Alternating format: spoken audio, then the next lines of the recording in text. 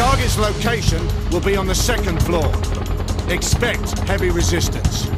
Let's get in and get out as quickly as possible. Move out!